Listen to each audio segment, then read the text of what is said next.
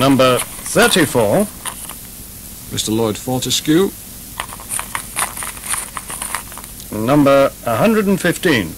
Will get an OBE. Number 16. Sir Percy Manning. Number 126. Becomes a Viscount. I should be there now. Hello, listeners. Frank Simon here. What have I've actually done is I've sent little Frank in a cardboard box to Hollywood, right? Because he don't need a passport or anything. Because I am moving into that brilliant industry, films. Are you there, little Frank, in Hollywood? Oh, yes, I'm just in the post room in a fantastic Hollywood studio. Right, we'll get the box open and find out who's there. Oh, can you open my box, please? Uh, hey? Open. Who is it? Who are you talking to? Uh, who are you, please? I'm uh, Sly, Sly Stallone. His name's Sly Stallone. Right, well, ask him what he's doing working in the post department, will ya? What are you doing in the post department, Mr. Yeah. Stallone? Rocky Five had, it bombed, you know. Then they said, "Can you do Rocky Six? And Yeah. but like when it starts getting uh, high, I can't count as far as so I'm working here in the mailroom. Brilliant. Right, ask him who's on set today, will ya? Who's about today, please? Jack Nicholson. Oh, yes, He's, Jack he's Nicholson. doing a movie with uh, Dustin. A what's that? Dustin Hoffman. Right, sort us out an interview and I'll be over. Hey, Mr. Nicholson. Yeah, Hey, you probably don't know me, but you might know my boss and mentor, yeah. Mr. I Sidebottom. ain't got long to talk to you, so you better make it snappy. Right, it, would it be alright if he came over and did an interview with you? Sure, yeah, fix it up with my agent, and, uh, you know, I'll give him five minutes of my time. Right, well, by the magic of radio, I'm here.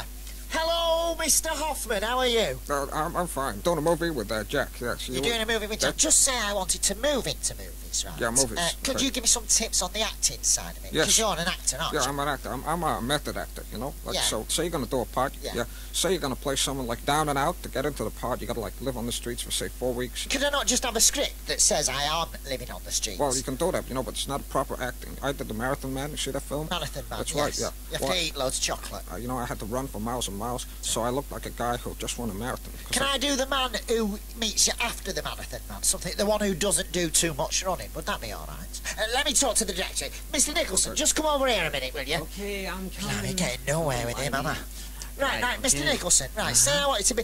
Hey, aren't you an actor as well as a director? Yeah, but I do a bit of directing, too, 'cause uh, I know all about it, man. Well, this is more what I want to do, really. So, so forgetting Mr. Hoffman for a minute. Uh-huh.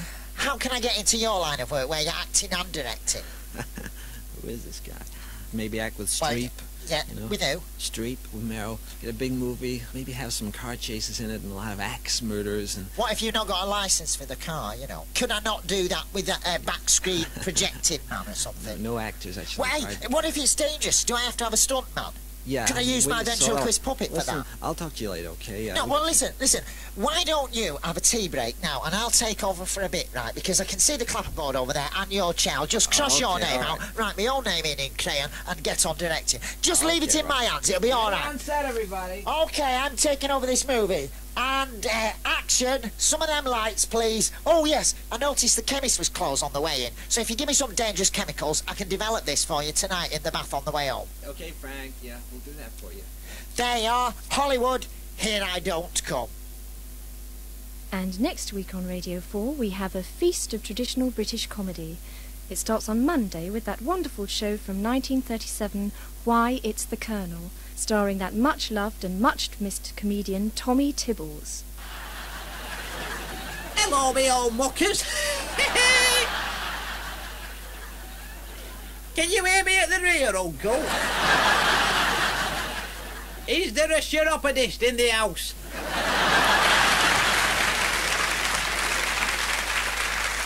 On Wednesday, you can hear an episode of Keep It Reactionary, the classic satirical programme from 1962. Hello, good evening, and groovy. Can you hear me up there, Miss Keeler? Is there a minister in a compromising position?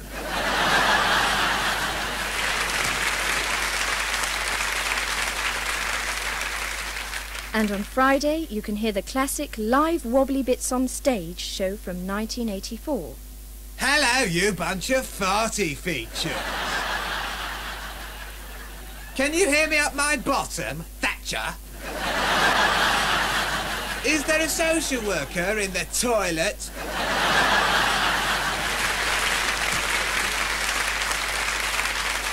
The series will be followed by a discussion programme on how comedy has changed over the years. That's classic British comedy starting next week on Radio 4.